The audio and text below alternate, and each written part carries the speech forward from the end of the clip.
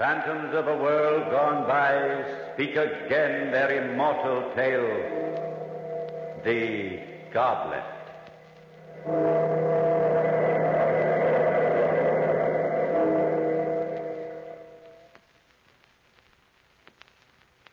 This is an occasion. It calls for wine. Sweet wine to think back, to reflect, to decide. Wine to make a fateful decision. Ah, well. A toast, my silver nemesis. Come, a toast to Francesca who has left me. yes, to Francesca. Why not? Well, little goblet, we're alone, huh? Now we can talk, just you and I, they would think me mad if they came upon me now. Came upon me, His Excellency Donaldo Rinaldi, governor of this island, talking to a silver goblet. But they do not know that you are really alive. That you have a black heart and a blacker soul. No. They do not know, but I know. Now I must make a decision, my beautiful, glittering friend. Whether to keep you forever or destroy you forever. Whether to go on until death with you or without you.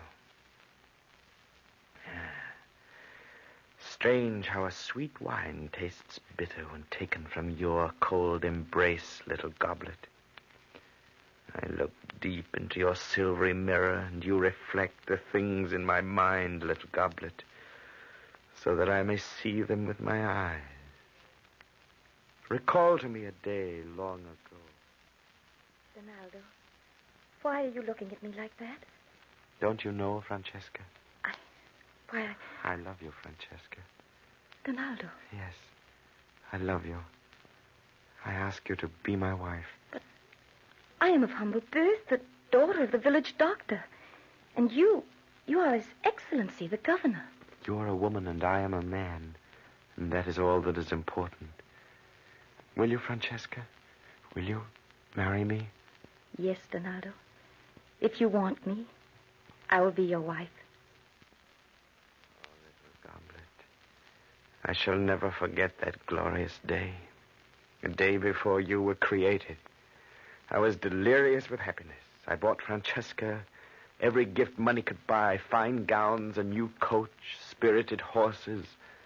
And I found that Francesca had a passion for things wrought in silver. I found a young silversmith who lived on the island and whose name was Ferdinand, a crafty fellow. He made Francesca a bracelet. It was a rare piece of work, a work of art. And in its graceful lines and smooth luster, there was something else, an indefinable, strange something. When I slipped the bracelet over Francesca's wrist, she was breathless, enchanted. Oh, it's beautiful, Donaldo. Exquisite. I'm glad you're pleased, Francesca. Shall I bring you other things from the same craftsman? A necklace, earrings? I did not know that there was a silversmith like this in all of Italy. There may not be, for all I know. I had this made right here on the island. Here? On the island? Donaldo, who is this silversmith? Well, a man named Ferdinand. I found him quite by accident. Ferdinand? Ferdinand. You speak as though the name intrigues you, Francesca. Do you know him? No, no, I've never met him. Face to face. But it's almost as though. As though what, Francesca? I don't know. What I do know is that his work was made just for me. Look at this bracelet, Donaldo. See how it curves over my wrist. Somehow it feels warm there instead of cold. Almost as though it were live flesh instead of metal. Oh, come now, Francesca. You're imagining things. No, no, Donaldo, I'm right. This silver has a strange, lifelike quality. When I put my cheek against it, it, it feels like a warm, living caress. See? Hold your hand to it. Hmm? It feels like silver to me, my dear. like cold metal. But if it makes you happy to believe it alive, you shall have your whimsy.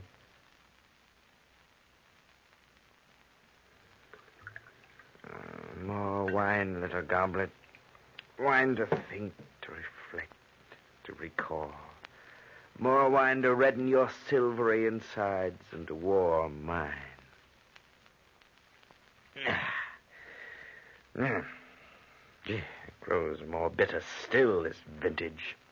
All that you are is bitterness, and all that touches you grows bitter. But come now, listen to me. Where was I? Oh, yes, the bracelet. Francesca could not take her eyes off it. She wore it constantly, caressed it, touched it tenderly, insisted it had a heart and a soul. I was happy. I laughed then. Ah, if I'd only known.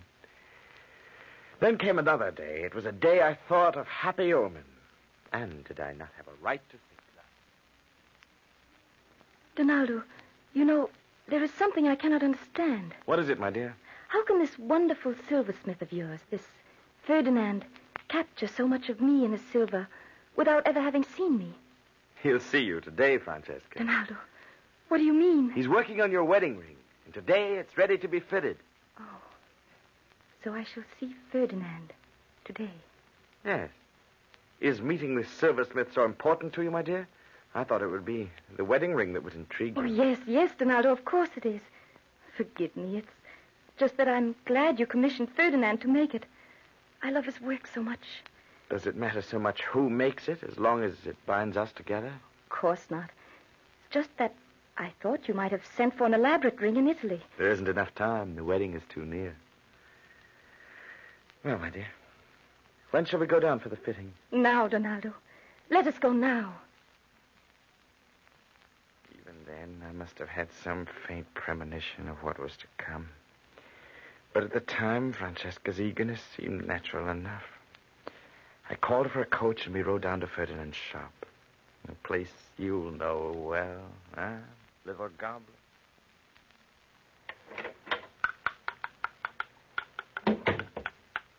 Francesca, my dear, this is Ferdinand. Signorina, I am honored. No. It is I who am honored to meet so great an artist. You are very kind, Signorina. You have great talent. Rare talent. The things you have made for me, why, they seem to breathe life. I felt the same life in my fingers when I molded the silver and shaped it. I made it just for you, Signorina. All this is very well, but it's taking time. What of the ring, Ferdinand? Is it ready? Yes, Signor. Here it is. Oh, it is lovely. Lovely. Like all the other things you make. Come, my dear. Let me try it on your finger. Huh. It's a loose fit, Ferdinand. Yes, I regret it is, Signor, and my apologies. This is the first time I have made an error in my knowledge of the lady. Up to now, I have always seemed to know her. Yes, I, I have told His Excellency of this strange feeling of affinity many times. Well, Ferdinand, what are we going to do about the ring? I shall have to rework it again, Excellency. But that will take time, man. The wedding's only three days away. Have no fear, Excellency. It will be ready for another fitting tomorrow. Tomorrow. I have affairs of state to attend to tomorrow. It will be impossible for me to come down. Why not just measure her finger now and be done with it? No, Excellency. There must be another fitting. I want this ring to be perfect. Of course, Donaldo. You can attend to your work tomorrow. I'll, I'll come down alone in the carriage. It'll only take a few minutes. Oh, very well. But see that the ring fits tomorrow, Ferdinand, or you'll answer to me. How was I to know, little goblet? Hmm? How was I to know that this little silversmith had captured my beloved not only with his work, but with himself? Like a fool, I let her go down to his shop alone. It was only later, when it was too late, that I found out what had happened. The ring is ready, Signorina. Allow me to put it on your finger. Oh, Thank you, Ferdinand. It seems to fit perfectly. A symbol of happiness. Or is it, Signorina? What do you mean? You know what I mean. I, I'm not sure I do. Donaldo's a good man. He's rich, handsome, considerate, and, and kind. I did not mention Donaldo's name, Signorina. No. No, but you had it on your mind. There isn't a woman on this island who does not envy me. A woman cannot live on envy, Signorina. She must love and be loved. But Donaldo loves me. That is apparent. Yes, but do you love him? Why, I... The truth, Signorina. No, never mind. I know the truth. I can see it in your eyes. Now, can you see what is in mine? Ferdinand, what? I made things of silver only for you. They called to you, did they not, Francesca? They drew you to me. I made them live. I molded them with my heart and soul. When I polished them, I saw your face in their reflection. They were meant for you because I was meant for you. Ferdinand, what are you saying? I'm saying that I love you. And you love me. Ferdinand, I... You came to me alone. You can never leave me. We are one together, bound by a cord of silver round our hearts. You love me, Francesca. Say it. Say it. Yes. Yes. I love you, Ferdinand. Oh, Francesca, my darling. Didn't you know? Did you just discover it? No. No, I, I knew. I must have known. You did know. I sent you the message of my love and the silver I made, and you responded. But it's too late, Ferdinand. I promised Donaldo that... No, it is not too late. You cannot learn the rest of your life to keep a promise. Come away with me, Francesca. There's a little inn I know by the sea. We'll find a priest there and be married. When Francesca did not return, I hurried down to the shop. Are you thirsty, little goblin? More wine? Ah. Ah. At the shop, a coachman told me he had seen Francesca leave with the silversmith Ferdinand and had overheard their destination. I hurried after them, my brain fevered with a kind of madness and with murder in my heart. I entered the inn and softly opened the door to their room a few inches. They did not hear me. Francesca, my beloved, I have a gift for you. Why, it's a goblet. Silver goblet. Oh, Ferdinand, it, it's beautiful. Like everything else you make. Alive. Yes. When I made it, I hated it. It was to be my wedding gift to you and to him. But now it is ours, ours. And remember, as long as you have it, I shall have you. It will be a symbol of our love. Come, Francesca. While we're waiting for the priest, let us drink a toast to our future happiness. No, Francesca. Donaldo! Put on your cape, Francesca. I'm taking you home. Don't go with him, Francesca. He cannot hold you now. You're free of him. Don't go. As for you, my little silversmith, I'm going to banish you from this island forever.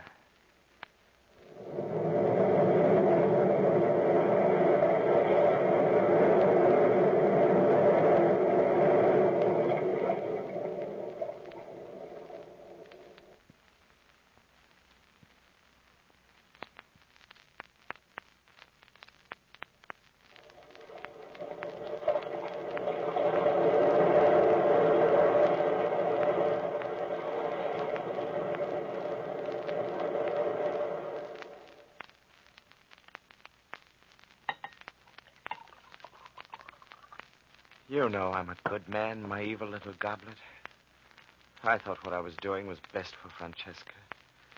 I believed she'd get over this foolish infatuation and marry me. You see, I loved her. And after all, I could give her everything she wanted. I kept her in my villa under my housekeeper Rosa's chaperonage, hoping that she would relent and marry me. I suppose Francesca was, in a sense, a prisoner. I don't know. All I know is that I wanted her more than anything else in the world. And I tried everything. everything.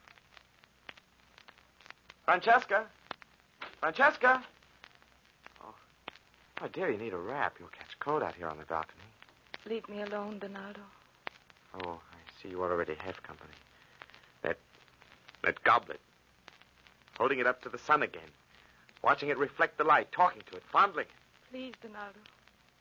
I don't want to discuss it. Perhaps you don't, but I do. When are you going to come to your senses, my dear? People think you're mad. Each day at sunset, standing on this balcony, holding that accursed silver goblet to the sun till it dazzles the eyes. I did not ask to come here. You've kept me here for two years. Francesca, listen to me. I've got a surprise for you. Rosa. Oh, yes, Signorina. Five new gowns, all the way from Paris. They are exquisite, the latest mode. The dressmaker is waiting for you now. Well, Francesca? Doesn't that interest you? Don't you care? When will you learn, Donaldo? Your gifts don't interest me. I don't care for your gowns and your jewels. There's only one thing you care about, eh, Francesca? That silversmith Ferdinand. Please go away. Please leave me alone. Francesca, for the love of heaven, will you put that goblet down? Stop holding it in the sun. The reflection's blinding me. It does not blind me, Donaldo. That goblet, always that goblet. Must I compete against a piece of silver? Must it always be between us? Give me that goblet, Francesca. No. No, Donaldo. It is all I have to remind me of. Of Ferdinand? Precisely. Give me that goblet. You'll not take it away. You'll not. If you do, I shall die. On the contrary, my dear, you'll come to your senses again. Now, for the last time. No. No. Very well, then I shall have to take it by force. Donaldo. Give me no. that goblet. No. I must be free of it. And so must you. You recall all this, hmm? My little silver friend. Do I see you grinning at me from your perch there on the table? Well, then I shall drown your grin with more wine. More wine to think. To think.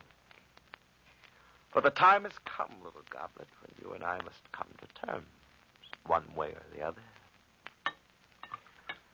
Yes. Ah. Ah, wine still tastes bitter. No matter. I must live with bitterness forever in any event. But recall again what happened. I took you away from Francesca, strode down to the rocks, and threw you into the Mediterranean as far as I could throw. I saw the water carry you out. And then with my own eyes saw you sink. Yes, sink. And then, a week later. Someone's at the door, Rosa. See who it is. Yes, Excellency. Good afternoon, Senora. My name is Mario. I am a fisher boy at the village. What do you want? Pardon, Senora, but I must see His Excellency the Governor. Go away, boy. His Excellency cannot be disturbed by ragamuffins. But, Senora, I have found something very precious. It is so precious that it could only belong to His Excellency. See? Why, it is the Signorina's goblet. The goblet. Boy, you found the goblet? Yes, Your Excellency. Come here, boy. Come into the room. Now, tell me where you found this goblet. On the beach near the Narrows, Excellency. I was fishing there when I spied it coming in on the tide. I picked it up and came straight here. Oh, is this accursed goblet. Always it must come between us. Why? Why? Excellency, Go I... away now, boy. Go away, do you hear? Yes, Senora. Yes. Oh, Excellency, is something wrong? Yes, Rosa. This goblet is wrong. It's a silver incarnation of evil that must be destroyed. Excellency, why did you throw the goblet like that? You broke the lamp. I must destroy this evil thing. Smash it against the wall. Oh, Excellency! Oh, oh Rosa. Rosa, pick up the goblet from the floor. Give it to me. Yes, Excellency. Here it is. No. No. It cannot be. I smashed the goblet against the wall. You saw me, Rosa. And yet, look. It is a miracle, Excellency. A miracle. Yes. A devil's miracle. There's not a nick in it. Not a scratch. And its surface shines brighter than ever. What could I do, huh? little goblet? What could I do against a power like yours? I thought then of Francesca. Believe me, I meant her no harm. I'm a good man, really. A good governor, a humane man. And I loved Francesca. I brought the goblet into her. When she saw it, a strange light came into her eye. The goblet. Donaldo, You've brought the goblet back. Yes, my dear. Give it to me. Give it to me, Donaldo. Oh, Francesca, please, you're not yourself. Perhaps we'd better place it in the vault until No, you... no. I must have it now. Now. Very well, my dear. Francesca, where are you going? Out on the balcony, Donaldo. I want to look at it again. The rays of the sun. There is a light. A light I must see.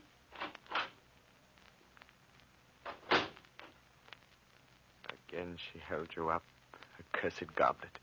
Again came that blinding flash of light when you met the sun. I staggered from the room, my eyes smarting from the glare. Threw myself on my bed, tried to sleep, but I could not sleep. My eyes were wide open, my evil destiny. I saw only you, jeering at me, taunting me, as you are doing now. It was only this morning that Angelo Lanzi, my police chief, came to see me. Excellency, I have a report of interest. Well, Lanzi, well? That silversmith you banished from the island, he has come back. Back? Yes. Ferdinand? I believe that was his name. A little man mumbling to himself, always mumbling one word. Goblet. Yes, Excellency, goblet. How did you know? Never mind, never mind. Lanzi, where did you see this silversmith? Why, it's very strange, Excellency. He stood on the hill overlooking the customs house and stared at your villa. Yes, Lanzi, yes? There was something bright flashing from an upper story, the gleam of metal in the sun, perhaps. The silversmith watched it as though as though it were some kind of signal. He never took his eyes from it. Excellency, Excellency, something has happened. Yes, Rosa? Giulio the guard, he has been attacked. It's Ferdinand. He's come for Francesca. The trellis to our balcony. Come with me, Rosa. We must stop them. Yes, Excellency.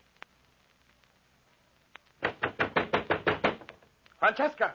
It's I, Donaldo. Open the door, do you hear? Francesca! There is no answer, Excellency. I am afraid. Francesca! In the name of heaven, speak! Rosa, step to one side. I'm going to break down the door. Yes, Excellency.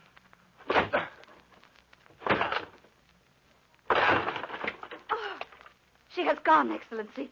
See, the French windows to the balcony are open. But she has left the silver goblet on the table. Yes, Rosa. She has left the goblet. Excellency, the goblet. It is a fire from the rays of the sun. Mamma, you look. It is a blinding light. A sign from heaven, surely. An evil sign. Yes, Rosa. Shut the windows and draw the blinds. Yes, Excellency.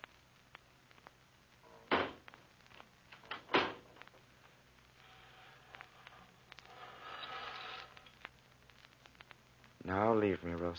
Go about your duties. But, Excellency. Leave I- me alone with the goblet. You hear? Yes, Excellency, if this is your wish. Rosa has gone away as I ordered her to and left me alone. Francesca is gone. My beloved is gone. But oh, how considerate of her. She left me you. You. You. But are you not a part of her? Did she not say herself that everything that silversmith made for her became a part of her? Lived as she did, had a soul and life? Yes, Goblet. You. She left me more than she could ever give me when she herself was here. she left me you.